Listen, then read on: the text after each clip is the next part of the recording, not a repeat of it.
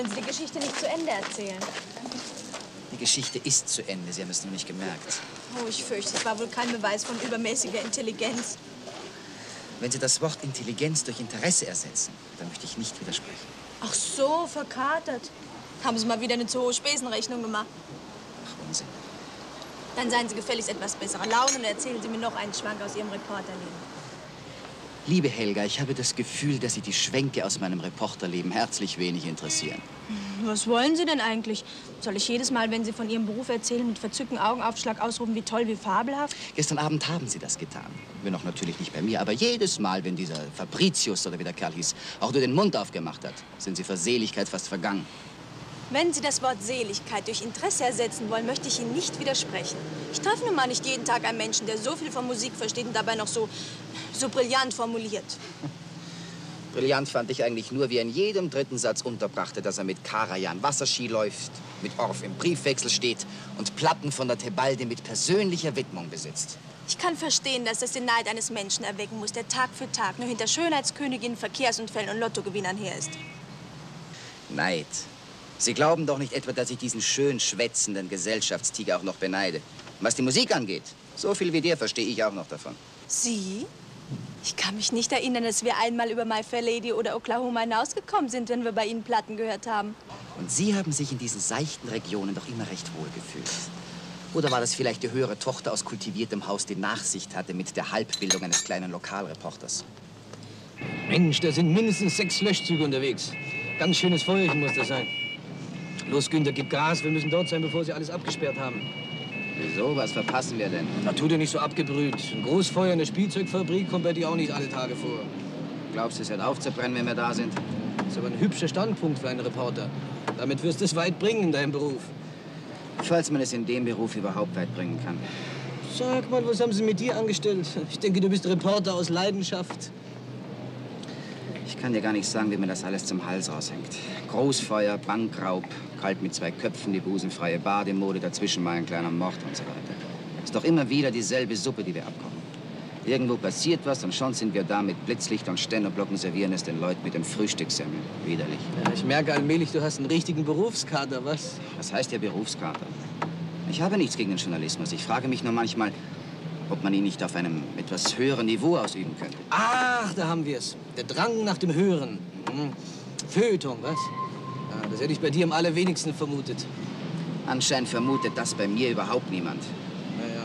Und du glaubst, das ist wirklich das Zeug zu einem richtigen Musik- oder Theaterkritiker? Selbst wenn ich es hätte, wen interessiert das schon? Unser eins bekommt doch nicht einmal eine Chance, es zu beweisen.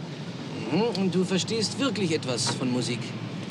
So viel wie mancher anderer, der furchtbar klug darüber schwätzt. Typischer Fall vom Messias-Effekt.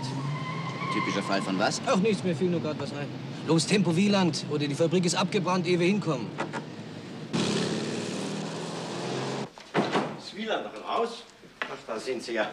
Hören Sie, ich bekomme da eben eine vertrauliche Information. Es hat da offenbar Krach gegeben bei der Vorentscheidung zur Miss Bikini-Wahl. In der Jury soll da irgendwie geschoben worden sein. Überrascht Sie das? Ach, überrascht mich das. Das ist doch Unsinn. Ich möchte, dass Sie da gleich mal nachfassen, bevor der Express dahinter kommt. Wir könnten morgen in der Abendausgabe eine Aufmachung rausholen, wenn die Sache was hergibt. Und Sie glauben, dass das die Leute interessiert auf Seite 1? Was sagen Sie? Ich sage, dass es mir und vermutlich noch einigen anderen Leuten völlig schnuppe ist, welche von diesen Gänsen übermorgen Miss Bikini wird. Ich zweifle an Ihrem Verstand. Sehen Sie, das ist der Unterschied. Und er beginnt gerade daran zu glauben. Das ist die Möglichkeit. Ich bekomme dank meiner Verbindung und einer gewissen journalistischen Nase Wind von einem aufziehenden Skandal und Sie... Ich bezweifle, dass in dieser Sphäre eine Schiebung noch als Skandal zu werten ist. Ich diskutiere nicht mehr länger. Sie haben den dienstlichen Auftrag, sich um die Sache zu kümmern. Das ist ein Knüller, Herr Wieland. Und wenn wir Glück haben, sind wir morgen die Einzigen, die damit rauskommen. Ich, weiß, ich habe manchmal den Eindruck, man muss sie zu ihrem Glück zwingen. Mir wäre manchmal lieber, Sie würden nicht pausenlos an mein Glück denken. Herr Wieland! Ich gehe ja schon, ich gehe ja schon. Ähm, Im äh, Esplanada tagen wohl diese Geistesfürsten. Wiedersehen. Ja, was ist denn der Kerl gefahren? Ich gebe ihm einen dienstlichen Auftrag und er... Nein, nein, ich werde mit Weidelberger sprechen. Das lasse ich mir nicht länger bieten. Das, das ist das Dümpelchen auf Sie. Aber Herr Graf, warum regen Sie sich denn so auf? Wie oft mussten Sie sich über Wieland ärgern, weil er so überaktiv war? Und jetzt ist er einmal zu passiv, na und? Mein lieber Herr Renz, überlassen Sie es gefälligst mir, wann ich mich über Wieland ärgere und wann nicht. weiß, dass Sie mit ihm sympathisieren. Ich? Keine Spur.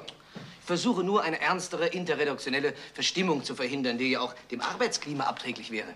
Nein, ich möchte Ihnen nur begreiflich machen, was in Wieland überhaupt gefahren ist. Was gibt's denn da noch klar zu machen? Liebeskummer. Fräulein Fuchs, ich befürchte, Sie sehen die Sache etwas, äh, naja, vielleicht zu sehr als Frau. Muss das heißen, dass ich Sie falsch sehe? Musica Nova, ja? eine Zeitschrift für das zeitgenössische Musikleben. Hm? Ich glaube, da liegt der Hund begraben. Wieland und das zeitgenössische Musikleben. Können Sie sich darunter was vorstellen? Was heißt das? Ja, das heißt, dass mein Kollege Wieland meines Erachtens inzwischen reif ist für den Messias-Effekt. Meinen Sie? Was ist denn das, ein Messias-Effekt? Ja, ja, das war noch vor Ihrer Zeit, Fräulein Fuchs. Wir hatten damals einen Kollegen, übrigens auch einen Reporter, der verspürte plötzlich den Drang in sich zum Hören. Ja, natürlich. Wie hieß er denn gleich? Heißen, Heißen, äh, Heißenborn. Plötzlich hat der gesponnen. Ja, äh, Der- der- waren Sie damals wirklich noch nicht hier? Der genierte sich plötzlich Reporter zu sein, ja? wollte höher hinaus in andere Regionen. Der, der hat richtig gesponnen. Der, hat- sogar, dass die Arbeit völlig drunter litt. Ja? Und da haben wir uns den Kopf zerbrochen, wie wir ihn kurieren könnten. Ja, das war der himmlische. Der, In der Stiftskirche wurde damals Enz Messias aufgeführt und wir schickten den Kollegen hin. Große Kritik, Aufmacher fürs Feuilleton. Wo ist da der Witz? Naja, er war selig. Ja, nicht? aber die Seligkeit dauerte nicht lange.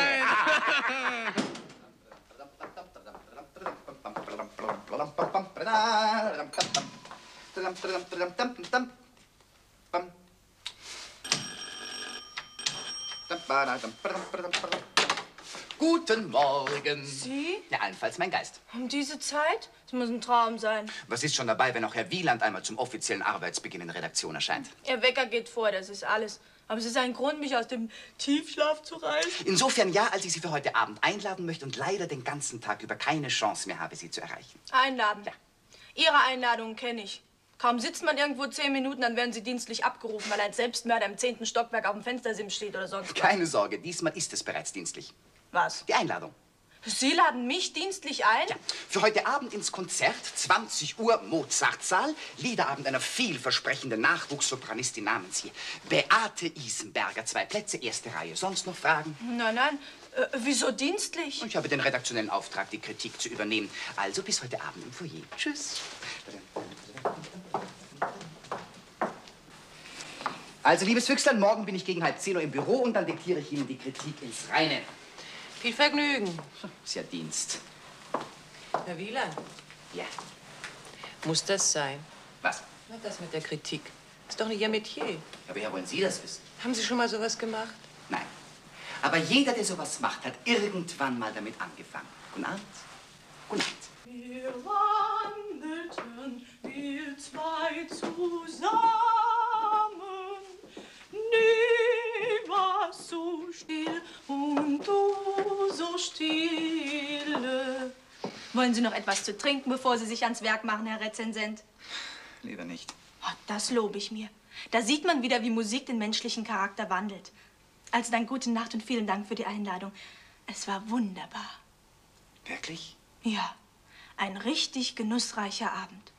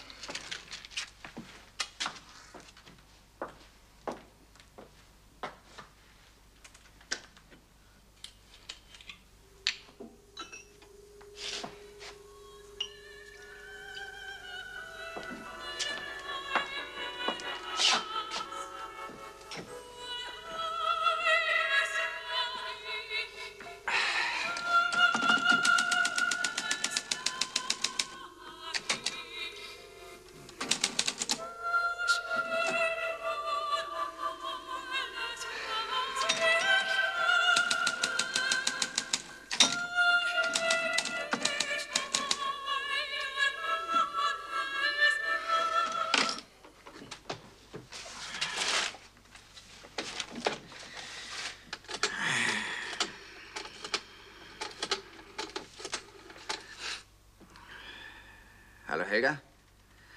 Hier ist Wieland.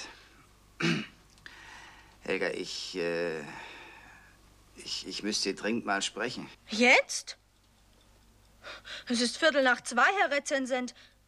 Was? Ob ich noch Schnaps im Haus habe? Ich denke, Sie schreiben eine Musikkritik. Eben deswegen? Hm, Sie scheinen ja völlig weggetreten zu sein. Ich komme mal rüber.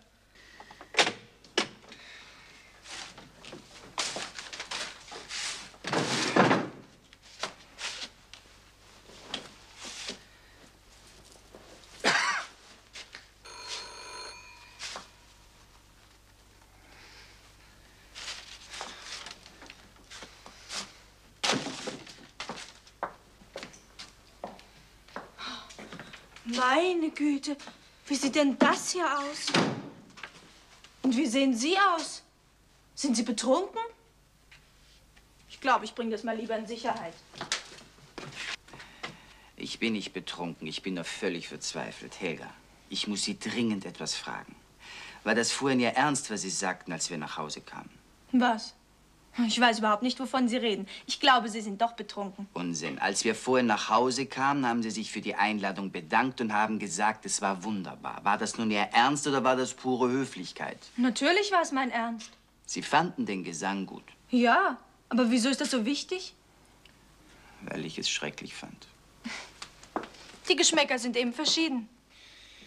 Das nützt mir gar nichts. Was? Dass die Geschmäcker verschieden sind. Was ist denn daran eigentlich so kompliziert? Eine Sängerin hat gesungen, Sie haben sie gehört, nun sollen Sie schreiben, wie sie Ihnen gefallen hat. Irrtum. Ich muss schreiben, ob sie gut oder schlecht war. Sie fanden, dass sie schlecht war, also schreiben Sie, dass sie schlecht war. Das haben Sie hübsch zusammengefasst. Ist leider nur ein Haken dabei. Was ich schreibe, muss nämlich stimmen. Möglichst. Und? Wenn Sie nun recht hätten. Ich? Aber ich verstehe doch nicht das Geringste davon. Sie verstehen nichts davon, Sie.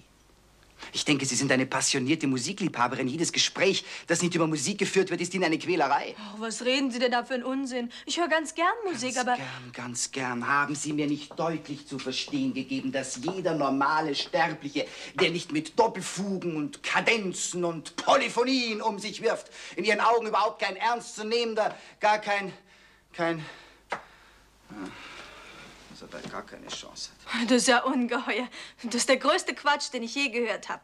Unter Wonneschauern haben Sie diesem Angeber zugehört. Ich war überhaupt nicht mehr da. Oder stimmt es vielleicht nicht? Sie waren eifersüchtig? Wenn Sie das, wie Sie wollen.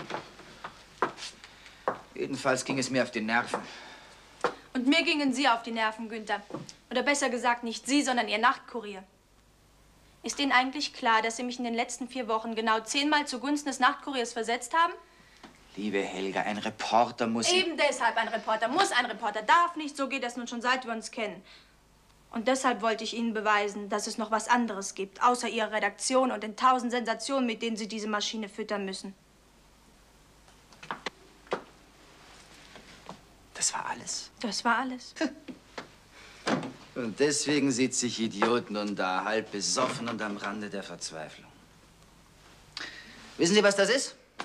Das sind alles Anfänger einer Kritik, die nie, nie zustande kommt. Warum nicht? Weil ich einfach vom Reportagenstil nicht loskomme. Mir fehlt das Vokabular.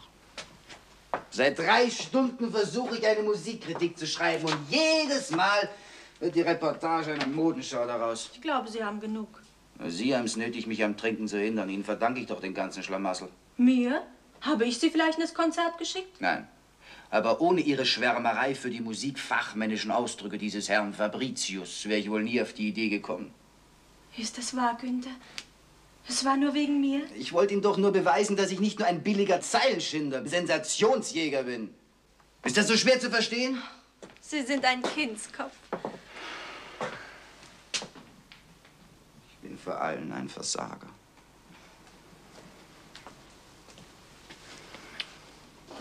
Für mich nicht.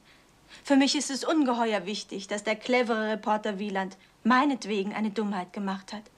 Beruflich.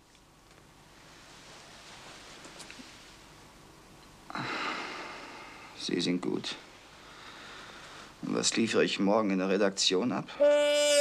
Wo bleibt er denn? Ist zehn vor zehn. Ich glaube, der kommt nicht. Ja, weil er es nicht geschafft hat, was ich Ihnen gesagt habe. Der Messias-Effekt wirkt immer. Auf seine Ausreden bin ich jedenfalls gespannt. Wenn ich Ihre Schadenfreude sehe, dann wünschte ich fast, er hätte es geschafft. Ja, malen Sie den Teufel nicht an die Wand, sonst sind wir unseren besten Mitarbeiter los. Na, ist theoretisch möglich, aber unwahrscheinlich. Auch und vor allem im Journalismus gilt der Satz, Schuster bleibt unter dem Leisten. Keine Sorge, ich bleibe. Wieland, das sind Sie ja. Na, her mit der Kritik. Es ist allerhöchste Zeit. Ich, äh, ich weiß nicht, wie ich es Ihnen sagen soll. Was? Wie? Ich habe keine Kritik. Ich habe es nicht geschafft. Ja, sind Sie wahnsinnig geworden? Sie haben keine Kritik. Und was stellen Sie sich vor, soll im Nachtruhe stehen? Ja, wie sehen Sie denn aus? Waren Sie in der Kneipe statt im Konzert?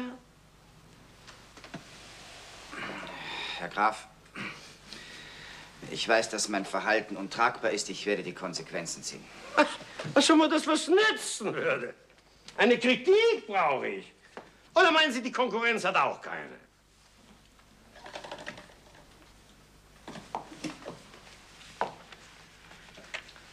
Blinder Alarm, ist alles halb so schlimm. Wir haben eine Kritik. Herr Graf hat vorsichtshalber auch Frau Castell ins Konzert geschickt.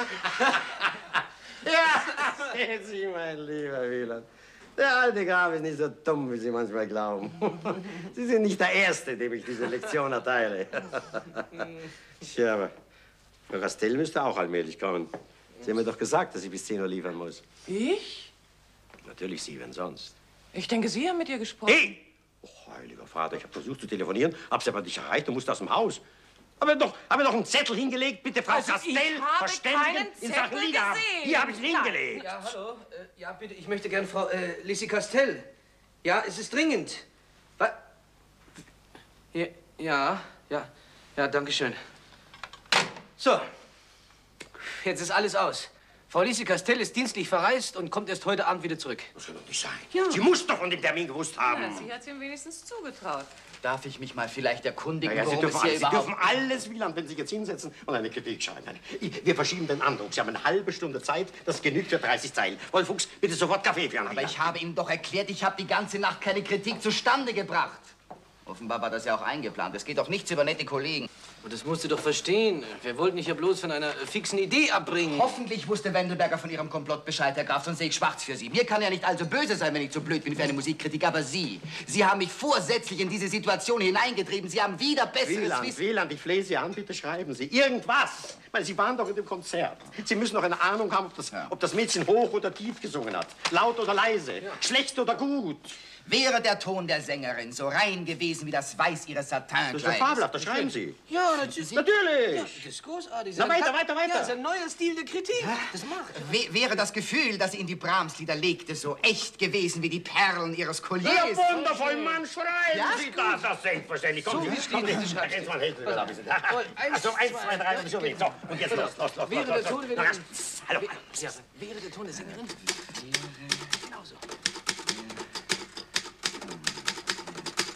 So, meine Damen und Herren, das wär's dann wohl. Ich danke Ihnen. Moment, äh, Herr Wieland, ich bekam da kurz vor dem Andruck noch, noch diese Fahne hier auf dem Tisch. Ich habe nur die Überschrift gelesen. Ja, was ist denn? Sie wollen zu den Musen überlaufen? Da Frau Castell sich auf Dienstreise befindet, habe ich Ihr Einverständnis voraussetzend Herrn Wieland, der sich privat sehr für Musik interessiert, gebeten, in die Bresche zu springen. Na, na, na, handelt es sich da etwa um den sogenannten Messias-Effekt? Aber Herr Wettelberg, doch nicht ohne Ihr Einverständnis. Der Liederabend hat übrigens rein lokale Bedeutung, für das man es verantworten konnte. Konferenzzimmer? Hm, Ja, Moment. Äh, Fräulein Schneider hat ein Gespräch für Sie. Soll sie durchstellen? Ich? Ja. Ja, Äh, legen Sie ins Gespräch herein. Ja, hier Wennerberger. Ja, guten Tag, liebe Frau. Was kann ich für Sie tun? Ja, selbstverständlich war jemand da. Warum? Ach, das wusste ich ja gar nicht. Ja, natürlich werde ich sehen. Ich danke Ihnen für den Hinweis. Oh, bitte, bitte, keine Ursache. Auf Wiedersehen.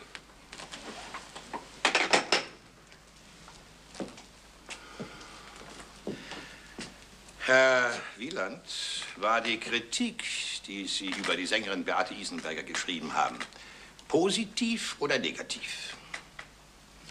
Das war ein ziemlich eindeutiger Verriss. So,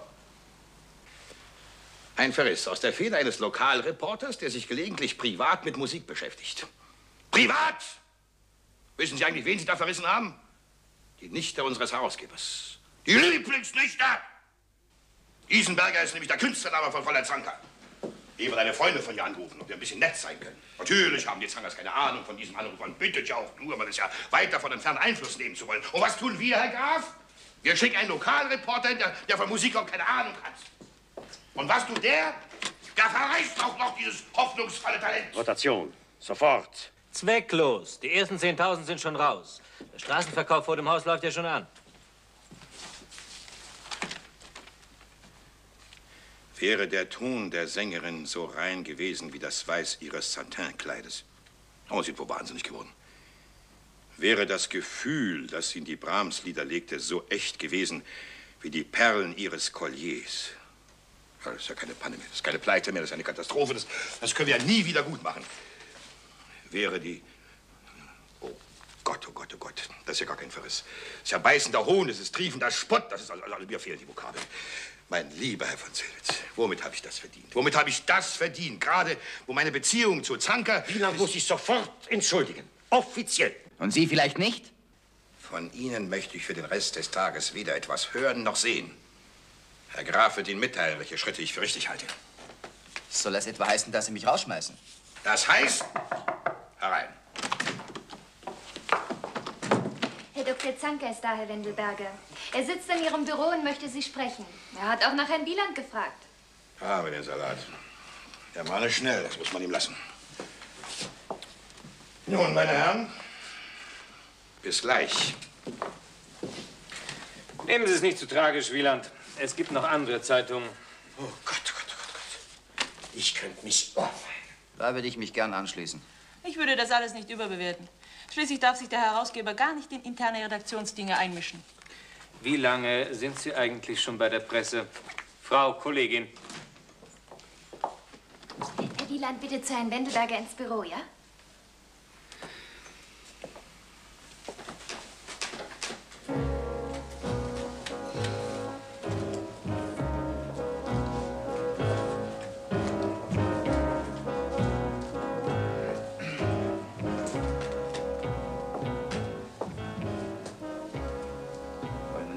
Die Guillotine besteigen? Herein.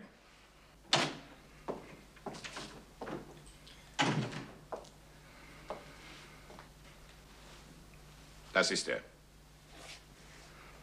Aha. Das ist er. Herr Dr. Zanker möchte sich bei Ihnen äh, bedanken. Ja. Das möchte ich.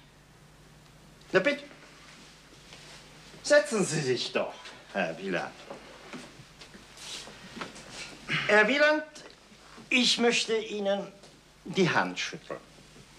Durch Ihre ebenso mutige wie vernichtende Kritik über den gestrigen Liederabend haben Sie vermutlich das geschafft, was ich seit Jahren nicht geschafft habe, obwohl ich mit Engelszungen predigte. Dass nämlich meine Nichte Beate sich die Künstlerflausen aus dem Kopf schlägt und endlich einen tüchtigen, ehrenwerten Mann heiratet, der schon seit geraumer Zeit auf sie wartet. Über diesen privaten Grund hinaus hat mich aber an ihrer Kritik der herzerfrischende, unkonventionelle Ton gefreut. Das liest man, das, das ist was Neues. Meine Schule. Mein lieber Wendelberger, ich habe immer gewusst, dass Sie einen Riecher für begabten Nachwuchs haben. Herr Wieland wird, äh, so hoffe ich, auch künftig hin über Musikereignisse berichten. Lieber nicht. Ah, wir werden sehen. Ich möchte Sie und Herrn Wieland zum Essen einladen. Und zwar gleich jetzt. Da geht das? Ja, natürlich. Ja, selbstverständlich. Und äh, noch eins, meine Herren, ich bringe Sie beide um, wenn meine Frau erfährt, dass ich diese Kritik begrüßt habe. Zu Hause werde ich nämlich toben. Na, ich gehe jetzt hinein. Ich kann das Wieland nicht alleine ausbaden lassen. Los, los, meine Herren. Ich habe einen Mordshunger. Ich auch. Ich habe die ganze Nacht über der Kritik geschwitzt. Hat sich aber gelohnt. Ja, aber das ist doch... Ein sogenannter Messias-Effekt.